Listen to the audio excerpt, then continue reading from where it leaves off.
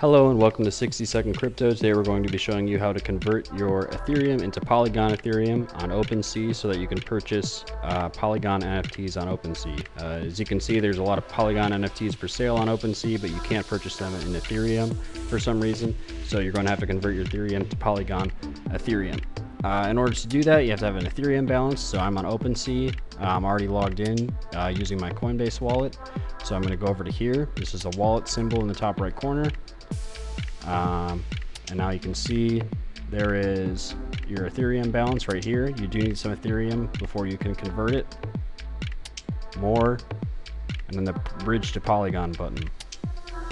Now, this is Polygon Ethereum. You're converting Ethereum into Ethereum on the Polygon blockchain.